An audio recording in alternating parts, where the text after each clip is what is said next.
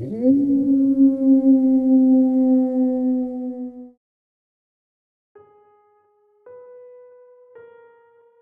you have someone you hate? Someone you would do anything to hurt? Pay any price for vengeance? If so, you may want to consider visiting Lightless City. To get there, go to any decent sized city and find a deserted alleyway at night. Go into it and close your eyes as tightly as you can. Whisper, Lightless City, and concentrate on the darkness. You've probably noticed that there are faint colors and abstract shapes you can make out if you try to focus your eyes when they're closed.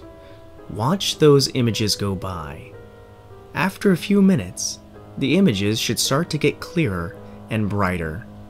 When this happens, they'll start taking on detailed forms, images of violent murders, deformed animals, and similar things. No matter what you see, keep your eyes closed. You'll start to lose track of time, but eventually the images will stop, and you'll see pure darkness. Nothing but deep black, no colors or shapes. When you're certain that you see pure darkness, open your eyes.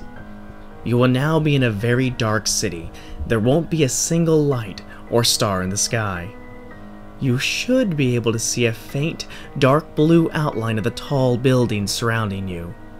Make your way out of the alley and walk as quietly as you can down the sidewalk, in any direction.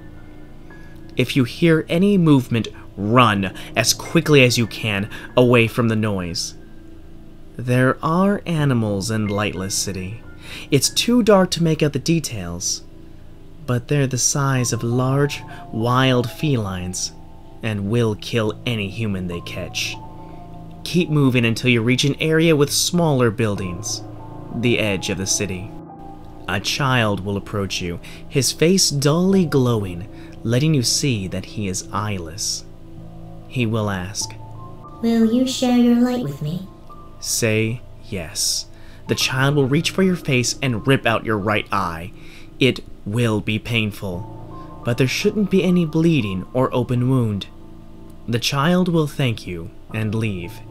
Keep walking, and a tall man will appear before you. Whose light do you wish to have taken away?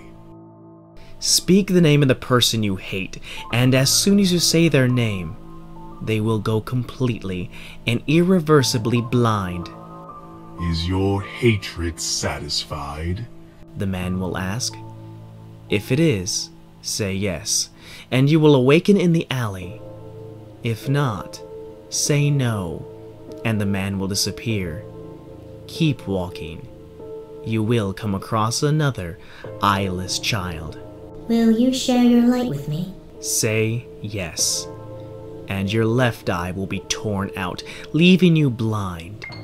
Keep walking, and the tall man will appear again, although you, of course, will have to rely on his voice. Whose life do you wish for the darkness to claim? Say the name of the one you hate, and they will die. You will not be asked if your hatred is satisfied this time, and you will not be able to return to the alley. I told you to make sure you really hated someone before doing this, and you will spend the rest of your life wandering around Lightless City, blind, with only your hatred to keep you warm. For some people, that's enough.